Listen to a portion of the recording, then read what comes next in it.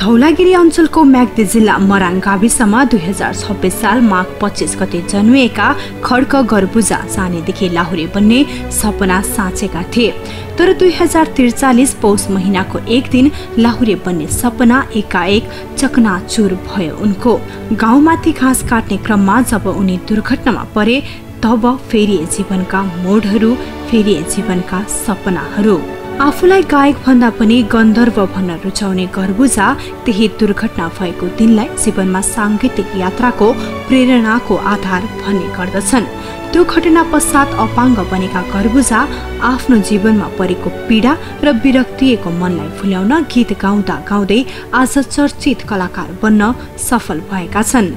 धौलागिरीका डाँडा पाखामा रमाउन आनन्द माने गर्बुजा काली गण्डकीको तीरदेखि धौलागिरीका बागलुङ पर्वत म्याग्दी र मुस्ताङसम्मका डाँडा पाखाहरूमा हुने मेला महोत्सवमा व्हिल चेयर घिसारेरै पुग्ने गरेका छन् धौलागिरीका विभिन्न सहरमा गीत गाएर सङ्कलन गरेको रकम बोकेर दुई हजार सडचालिस सालमा काठमाडौँ छिरेका गर्बुजाले त्यही साल रेडियो नेपालमा स्वर परीक्षणमा पास गरी आफ्नै स्वर शब्द र लयमा दुःखको भूमरी बोलको गीत बजारमा ल्याएर औपचारिक रूपमा साङ्गीतिक क्षेत्रमा प्रवेश गरेका हुन् अहिलेसम्म गर्बुर्जाले करिब तीन दर्जन गीत बजारमा ल्याइसकेका छन्।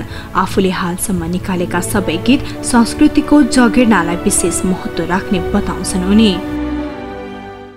रूपमा हेर्नुको कारण चाहिँ के भने मेरो गीत सङ्गीतमा जसो मगर समुदायको एउटा कल्चर मगर समुदायमा विकसितबाट विकसित भएका गीत सङ्गीत नै मेरो आफ्नो सृजनाका आधार हो। त्यसले गर्दाखेरि पनि मगर समुदायले मलाई विशेष रुचिका साथ हेर्नुहुन्छ। केही दिन अघि पर्वतको बनौ गाविसमा स्थानीय मगर समुदायको आतिथ्यमा पुगेका गर्बुर्जाले मगर संस्कृति र परम्परागत लोक भाकामा गीत गाउँदा धेरै शुभचिन्तकहरू भावुक बने। उनले कार्यक्रममा जब यानी माया बोलको गीत गाउँदा दर्शक दीर्घामा शून्यता छायो।